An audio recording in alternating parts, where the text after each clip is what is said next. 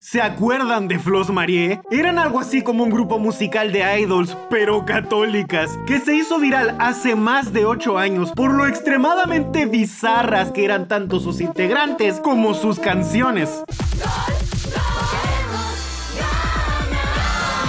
Les dijera que lo que acaban de escuchar es en realidad una obra maestra vanguardista, ¿qué me dirían? Porque francamente a mí también me gustaría creerlo, pero estoy seguro de que para el final de este video los voy a convertir en sus nuevos fans.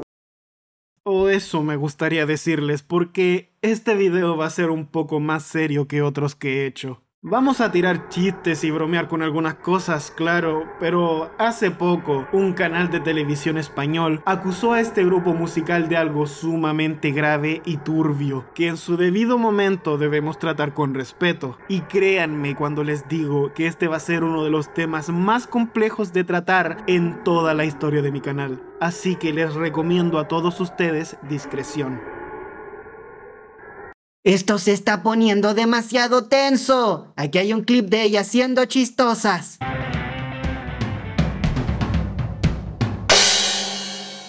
Eres libre, amigo mío.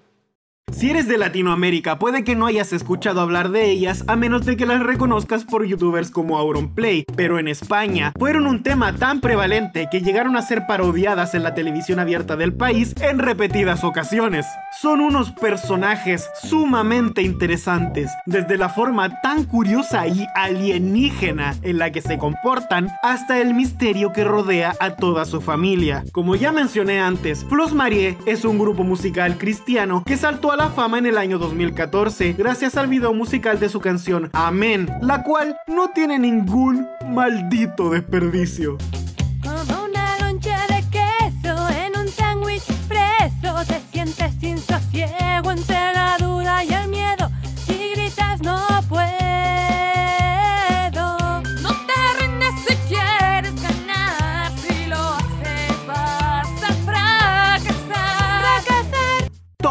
en este video es perfecto. Lo desafinado que cantan, lo fea que es la edición, lo extraña que es la música e incluso lo completamente surreal que es la letra. Como una loncha de queso en un sándwich preso. Yo también pienso en productos lácteos cuando tengo depresión, así que honestamente me siento identificado.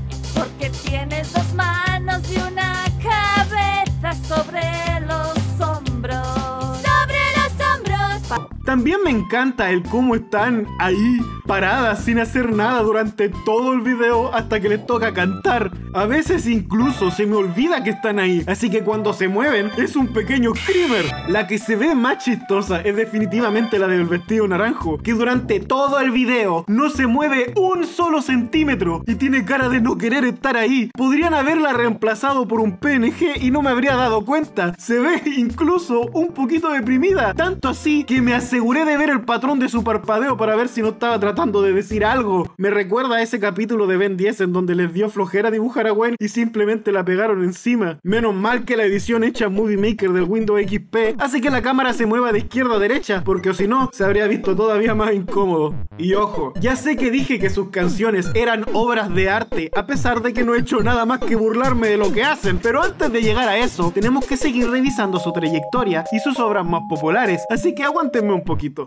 La otra canción que se volvió popular por esa época fue Viva el Papa, que es igual o más chistosa que la canción anterior. ¡Viva Aquí se repiten las mismas cosas de antes. Dígase la edición pésima, la letra culera y la vibra incómoda que transmiten los videos. Con dos diferencias cruciales. La primera es que ahora están grabando dentro de la casa, porque si has visto el resto de sus videos, te darás cuenta de que normalmente graban enfrente de este portón. Cosa que para mí es relevante porque para este punto esa puerta es casi otra integrante. La segunda diferencia es que ahora su madre también canta y se las arregla de alguna manera de hacerlo todavía peor que sus hijas. porque el cielo subía. No le atina absolutamente ninguna nota. ¿Y saben qué? Me gusta eso. Bien avant-garde, como diría la gente. Jefe de la Iglesia Católica Universal, que a todos ama de verdad, nos ayuda a apartarnos del mal. Están rapeando. La puta madre. Eminem ha estado bastante callado desde que salió esta canción. Aparte de eso, quería mencionar algo que no sé si sea raro para ustedes también, pero soy el único al que le da risa que la canción trate sobre lo genial que es el Papa. Tipo, quizás es porque no soy católico, pero para mí es el equivalente de hacerle una canción a cualquier otra figura política. Presidente Boric, presidente Boric, le doy todos mis impuestos, presidente Boric. Fue con estas dos canciones que Flos Marie llamó la atención del lado español del internet, teniendo un impacto cultural tan presente que casi era palpable. Además de las diversas parodias, análisis y variedad de videos que les dedicaban en YouTube, fueron objeto de burlas en varios programas de televisión de su país. El más notable fue hecho por En el Aire. ¡En el aire, Quienes, además de burlarse de las mismas cosas que yo, se mofaban de la forma en la que ceceaban en sus canciones.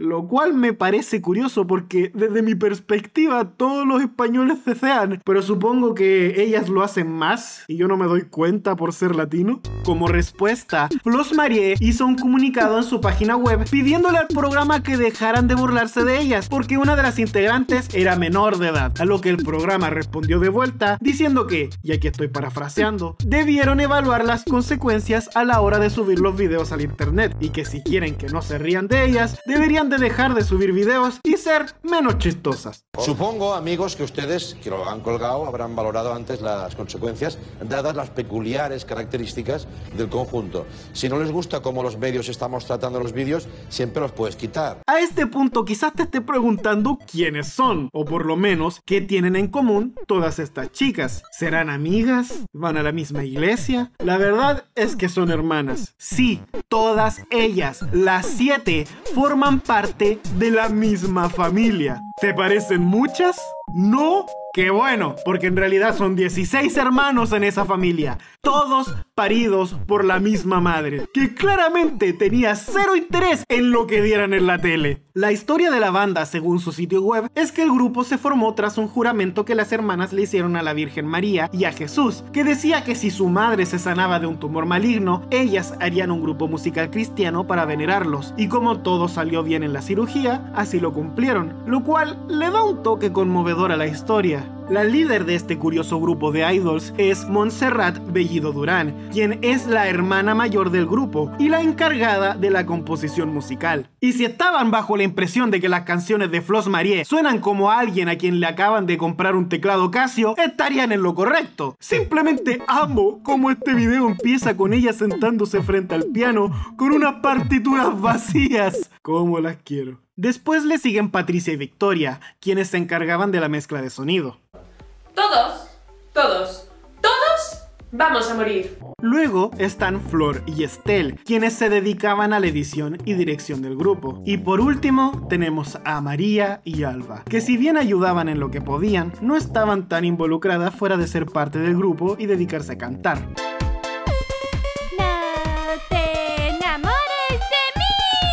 Como verán, son una familia multifacética. Todas las integrantes tienen algo que aportar al proyecto con su variedad de habilidades artísticas, financieras y empresariales, lo cual me parece genial.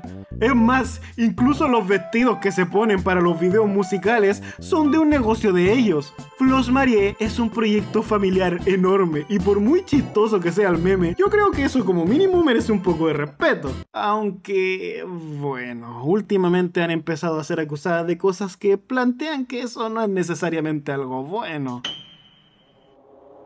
Quizás para este punto ustedes ya habrán empezado a notar que hay algo raro con estas chicas. Claro, son chistosas porque no son autoconscientes, pero pareciera que hay algo más. Es como si estuvieran parcialmente desconectadas del mundo real. Pero bueno, ya llegaremos a eso en su debido tiempo, porque es un tema bastante delicado que quiero abordar de forma correcta.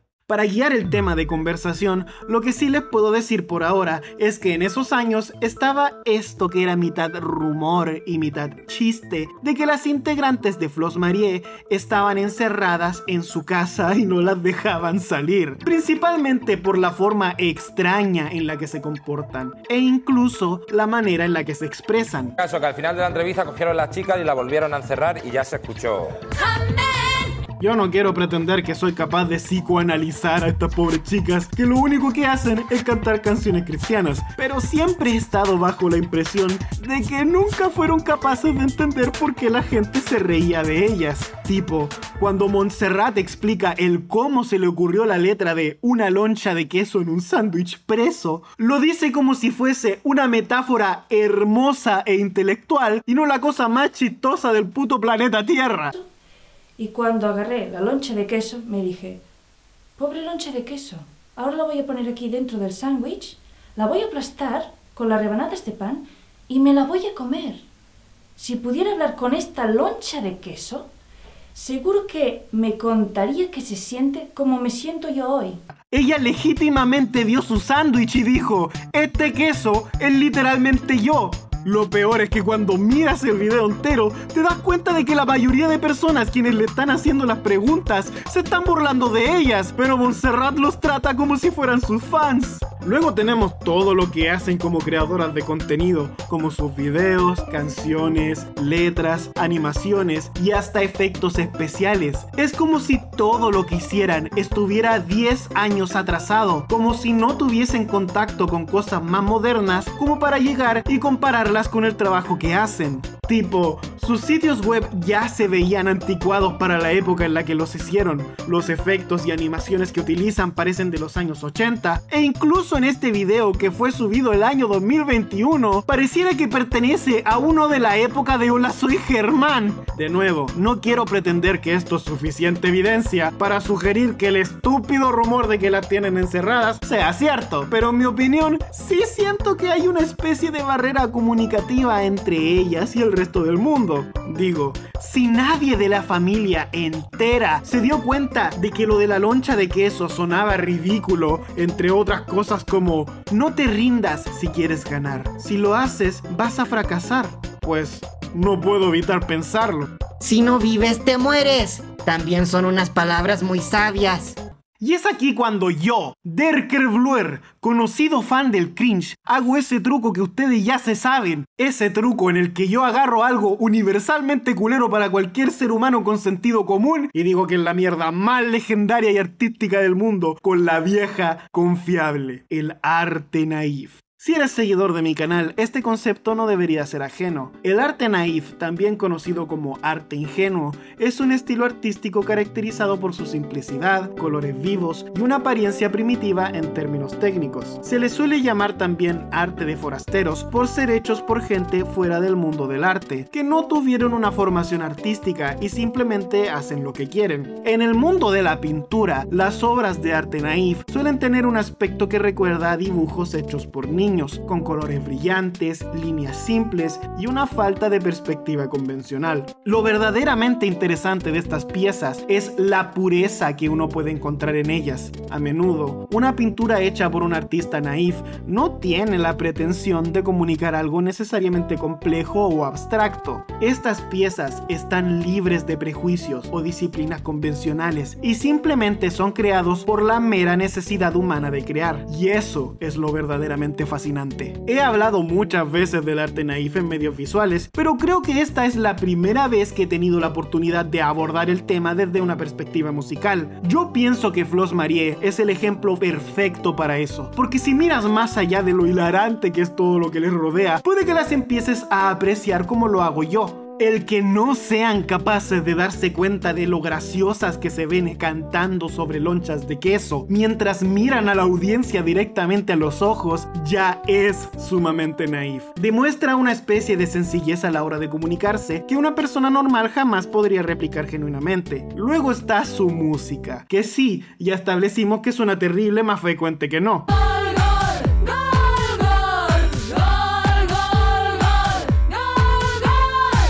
Pero incluso con esas no le quita lo interesante. El caso de Flos Marie me recuerda mucho a uno que ocurrió hace varias décadas atrás. Un niño llamado Austin Wiggin Jr. recibió un día la predicción de una divina que decía que cuando creciera se iba a casar con una mujer rubia y tendría hijas que se convertirían en estrellas del rock. Austin creció obsesionado con esa predicción, así que cuando sí terminó casándose con una rubia para tener tres hijas, las sacó de la escuela, les compró instrumentos baratos y las obligó a formar una banda que se llamaría The Shacks.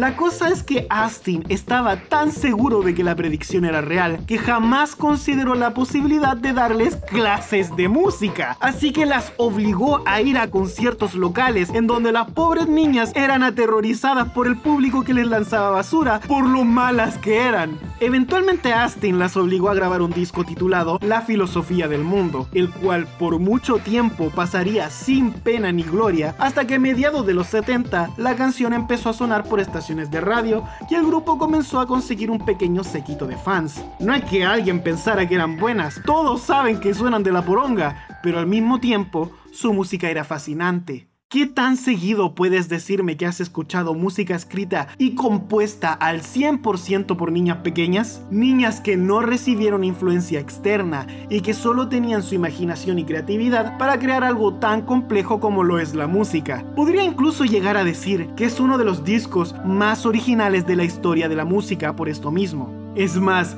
¿sabías que Kurt Cobain lo tiene entre sus favoritos? Cada vez que pienso en el arte naif, estas chicas son las primeras que se me vienen a la cabeza. The Shacks es la definición de la completa pureza en el arte. Pureza que es imposible de replicar para cualquier artista que no cumpla exactamente las mismas condiciones en las que ellas se encontraban. Claramente no es música que vayas a querer agregar a tu playlist, porque la idea del arte naif es apreciar una obra más allá de su calidad superficial y entender su contexto. Pienso de una manera similar a esta con Flos Marie. Si bien obviamente son muy distintas a Shacks, tanto en su situación como en la calidad de la música, sí que me generan las mismas vibras. Y lo de la calidad de la música lo digo muy en serio. Si lo miras por encima, claro, suenan culero, pero si desmenuzas todas sus canciones elemento por elemento, siguen sonando culero, pero menos. Para empezar, la música de Flos Marie es, lo crean o no, bastante experimental. No se quedan en un solo género y ya, abordan una variedad bastante amplia, de los cuales muchos ni siquiera son mainstream y hasta son bien de nicho. En vez de fracasar en un género, fracasan en varios. Al inicio del video ya les mostré cómo rapeaban, pero también han experimentado con el rock y hasta me atrevería a decir metal.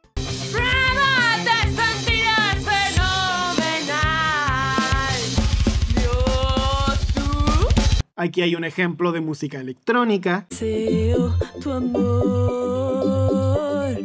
fuego que da vida. Y hasta una cosa tan loca como industrial dance mezclado con...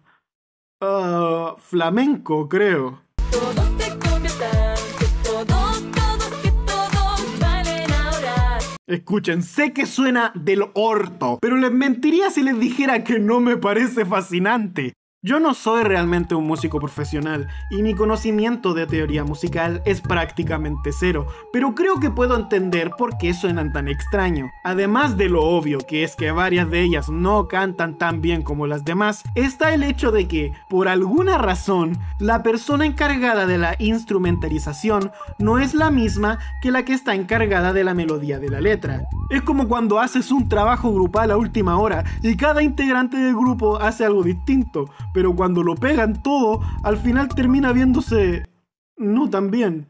Montserrat a veces hacía algo en onda experimental, electrónico, atmosférico, y Flor le haría una melodía más popera, por ejemplo. Porque solo Dios me ama.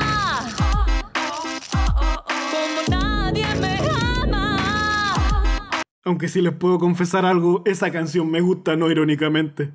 Y de nuevo, si bien ellas y su familia han estado siendo acusadas de cosas serias últimamente, yo no tengo forma de saber por todo lo que han pasado, pero desde mi humilde perspectiva, cada vez que las veo hacer absolutamente cualquier cosa, no puedo evitar sentir que son de otro mundo. Todos sus medios de expresión transmiten una inocencia naif fascinante.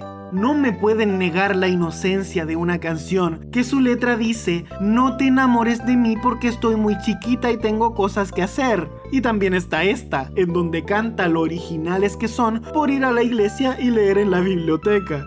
Algo por lo que no se les suele dar crédito es que ellas jamás han tenido la intención de lucrar con su música. No tienen problemas con vender mercancía, claro, pero cuando se trata de su arte, ellas siempre han dejado en claro que lo hacen porque les gusta y por cumplir su promesa con Dios. Se les ha pedido en numerosas ocasiones que asistan a eventos y conciertos, pero ellas lo han rechazado una y otra vez porque simplemente no les interesa. Es más, solo basta con ver que aún después de todas las burlas que recibieron por básicamente toda España, ellas hasta el día de hoy siguen haciendo música. No me importa quién seas, pero eso merece mucho respeto. Hay un montón de cosas que me encantaría decir sobre Flos Marie, como su triste separación por una pelea interna que tuvieron y la subsecuente formación de otros dos grupos musicales nuevos, pero hacerlo le agregaría fácilmente otros 40 minutos a este video, así que igual y puede quedar para otra ocasión. Supongo que lo que podemos concluir de esto es que Flos Marie, más allá del meme, es un grupo muy interesante bajo la lupa apropiada,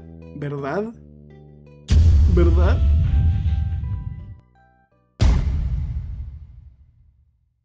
Sí, creo que ya va siendo hora de hablar sobre eso. Pero antes de que lo haga, creo que es pertinente decir lo siguiente.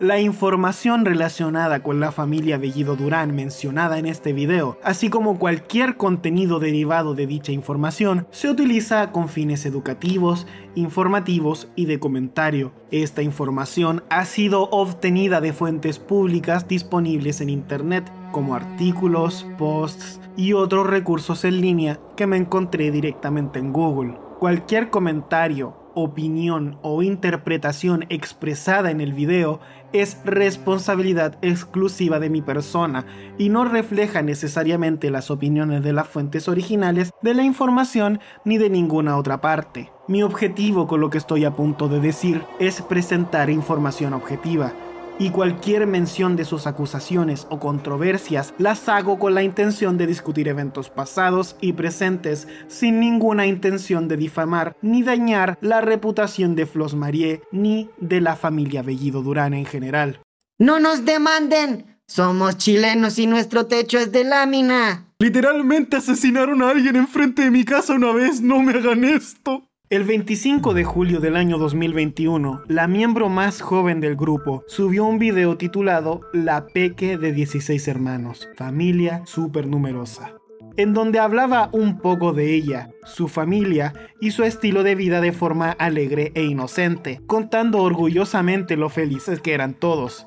La cosa es que uno de los misterios más importantes hasta ese punto era que a pesar de que Flos Marie siempre se jactaba de lo numerosa que es su familia, sin contar con dos de ellos que fallecieron, varios de sus hermanos eran completamente desconocidos para el ojo público. Eso hasta el 9 de agosto del 2021, en donde una cuenta de Twitter que afirmaba estar administrada por estos hermanos anónimos acusaba al resto de su familia de muchas cosas bien feas y que no era para nada perfecta como lo afirmaba la ex integrante. Nosotros no formamos parte de su familia perfecta imaginaria. ¿Cuántos años llevamos ya sin hablarnos? Y no es porque nosotros no lo hayamos intentado. ¿Cuántas veces les hemos escrito y no se han molestado en responder? Somos sus hermanos mayores. Aunque pensemos diferentes, somos los que vivimos en la vida real, en la calle, cerca de la familia, de nuestros abuelos, tíos, primos. Hoy, hace seis años que nuestra madre murió. Nuestros hermanos la describen como una madre perfecta, llena de bondad y que, textualmente dicho por Montserrat, una madre que siempre buscaba el bien y lo mejor para cada uno de sus hijos. No creo que el maltrato físico y psicológico, los gritos, las mentiras, la manipulación puedan definirse como un bien para los hijos de nadie. Según estos supuestos hermanos mayores, la madre de las integrantes del grupo musical, quien había sido retratada como prácticamente una santa por las hermanas menores, era en realidad una mujer fanática religiosa, abusiva y manipuladora que los obligó a escapar de su casa. En unas capturas que posteriormente borraron, se veían los supuestos correos que enviaron para intentar comunicarse con sus hermanas y su padre. En una de estas, el redactor le escribía a este último sus frustraciones con el cómo manejaba a ese lado de la familia, incluyendo además un dato sumamente preocupante. La madre afirmaba tener conversaciones con Dios y le advertían que ya han habido muchos casos en los que ese tipo de situaciones derivaban a sectas peligrosas. Hasta la fecha no existe evidencia concreta que pruebe que esta cuenta sea verídica y no la obra de un fan obsesivo, pero al mismo tiempo ninguna persona que pertenezca a la familia Bellido Durán se ha tomado la molestia de siquiera reconocer la existencia de estos posts. Más tarde, a inicios de este año, el programa Focus del canal español 4 haría un pequeño segmento en el que hablaba del supuesto lado oscuro de esta familia, usando de referencia esta cuenta de Twitter, especulando que las hermanas son unas recluidas de la sociedad que sus vecinos solo ven cuando van a misa los fines de semana. El programa también indagó en unos supuestos escritos de la madre de la familia, el cual supuestamente era una transcripción de una conversación entre ella y Dios. En estos, María Durán de Bellido le preguntaba si debía enviar a sus hijos a la escuela porque estaba considerando educarlos en casa. Amado, mi amado Dios, te quiero con todo mi corazón. Tengo que preguntarte si deseas que mis hijos acudan a la escuela pública. ¿Qué deseas que hagamos? Seguir como hasta ahora. Yo demostraré al mundo que sin títulos se puede amar tanto a Dios que Dios da la gloria por su santa voluntad. Esta información se hace todavía más impactante cuando sabes que en el año 1997 aparecieron en un periódico por ganar de vuelta la custodia de sus nueve hijos tras ser acusados de maltratarlos. Todas estas afirmaciones obviamente son extremadamente fuertes. Si lo que ellos dicen es cierto, estarían acusando a la familia Bellido Durán de tener un pasado abusivo, de haber segregado a parte de su familia, de no haber escolarizado a sus hijos y de tener un carácter sectario. Un día después de la emisión de este programa, tres de las ex integrantes de Flos Marie hicieron un comunicado en su sitio web anunciando que tomarían acciones legales en contra del programa por mentir sobre sus vidas y difamarlas. Usaron de argumento que ya se había demostrado dos veces por profesionales que los niños de la familia no sufrían de ninguna especie de desamparo. Sin embargo, esto fue lo único que tuvieron que decir respecto a las afirmaciones del programa, porque hasta donde pude llegar a investigar, no han contraatacado ninguna de las otras acusaciones de manera pública.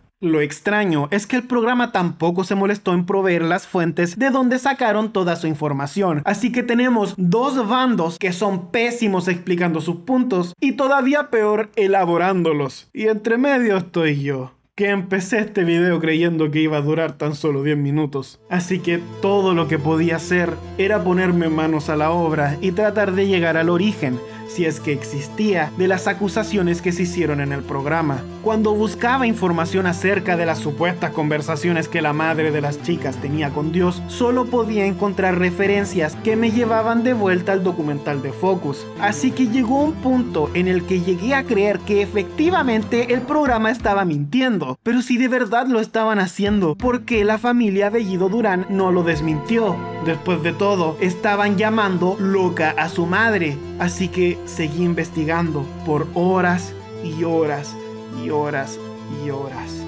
Caí en un agujero de conejo que, no les miento, daría para un iceberg de más de dos horas. Investigué e investigué hasta que eventualmente, navegando por posts de Twitter, foros y blogs, llegué a esta página web. Primavera de la gloria de Dios.com. Este sitio web extremadamente ominoso te da la bienvenida con la siguiente leyenda. Locuciones privadas a una madre de familia súper numerosa. felizmente casada y abuela. Se usan seudónimos elegidos por Dios para preservar la intimidad familiar. Primavera subió a la casa del padre a la edad de 58 años, en el año 2015, el mismo año en el que María Durán de Bellido falleció. En esta página podemos encontrar varios libros escritos por una persona que usa de seudónimo la palabra primavera.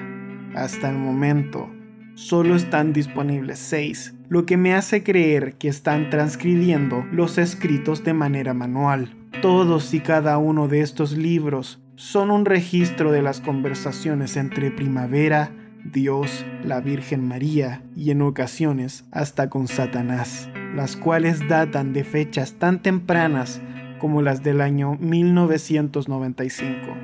En Revelaciones 1 del libro La historia del amor que Dios siente por ti, Primavera le pregunta a Dios lo siguiente. Dios mío, ¿qué quieres de mí? A tus hijos, ¿Para qué quieres a mis hijos? para que salven al mundo, ¿Cómo tienen que salvarlo? bailando. ¿Bailando? ¿Quieres que hagan ese proyecto para darte gloria? Sí, lo quiero. Yo asumo que legalmente no debería asegurar que este libro pertenece a la familia Bellido Durán, pero al menos puedo apuntar al hecho de las similitudes que hay entre lo que sabemos de ellas y lo que dicen estos textos. Por ejemplo, en el mismo libro pude encontrar un texto muy similar al que se mostró en el documental de Focus. Amado mi amado Dios, te quiero con todo mi corazón. Tengo que preguntarte si deseas que mis hijos acudan a la escuela pública. Yo estoy a favor de abolir las escuelas y que haya profesores particulares que enseñen a nuestros hijos en sus hogares. El deber supremo de los padres es acercar a sus hijos a mí, su Dios y único Señor. Yo demostraré al mundo que sin títulos se puede amar tanto a Dios que Dios da la gloria por su santa voluntad.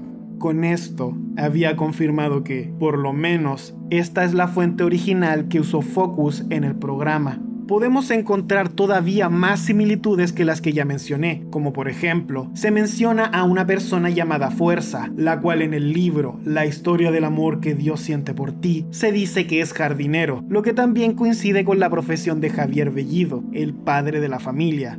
También se habla del fallecimiento de dos hijos de primavera, Ana y Víctor, que también coincide con la historia contada por Alba en su blog, en donde contaba que dos de sus hermanos estaban en el cielo. Esto a lo mejor si cuentas dirás que faltan dos. Es que un hermano falleció antes de nacer por aborto natural y el otro pocos meses después de nacer y por temas... Por último, en el libro Dando la mano a Dios se habla sobre el nacimiento de una niña llamada Flos, que en latín, como muchos sabrán, significa flor, el cual es el nombre de la decimotercera hermana de la familia. Además, la fecha de nacimiento ocurre en el año 1996, que también coincide con el año de nacimiento de Flor. Y es con las menciones de Floss que estos libros empiezan a sentirse inquietantes, por decirlo de alguna manera. Para empezar, en todos los libros se menciona varias veces el concepto de salvar al mundo a través de los hijos de primavera. Pero el libro trata a Floss de una forma mucho más especial que al resto de las hermanas. Me atrevería a decir que quien sea que escribió este libro consideraba que Floss iba a ser una figura mesiánica. Mi niña Flos es el símbolo de mi amor por los hombres, por la iglesia. Es el paso a la nueva era. Vienen los tiempos esperados. Y hoy os he dado a saber que el nacimiento de Flos da fecha exacta al gran cambio de la iglesia. Y tanto da que os lo creáis o no, ya que lo veréis. Toda esta lectura fue extremadamente incómoda de seguir. Pude darme cuenta de que todas estas supuestas conversaciones estaban siendo escritas por alguien que quería escribir una especie de segunda Biblia. No quisiera asegurar que Primavera estaba armando una secta, pero es muy difícil no interpretarlo de esa manera cuando todos estos escritos están hechos para que alguien los lea y estudie como un libro sagrado moderno, puesto que en el mismo se asegura que es Dios quien les pone nombre. Si este libro de verdad resultara ser de María Durán de Bellido, ¿cómo cambiaría eso la perspectiva que tenemos de Flos Marie? Las chicas que vemos en estos videos, ¿de verdad creen que su hermana es una especie de Mesías? ¿Qué tan partícipes serían en esta serie de libros? Está claro que de ser el caso, hay muchas cosas que podríamos especular de ellas, su madre, las acusaciones que han recibido y la forma en la que se comportan ante el ojo público, rechazando todo tipo de entrevistas y evitando hablar más de la cuenta de sí mismas. Yo no siento que me corresponda juzgar sus vidas o siquiera seguir investigando estos libros. Quizás eso sea trabajo para alguien más.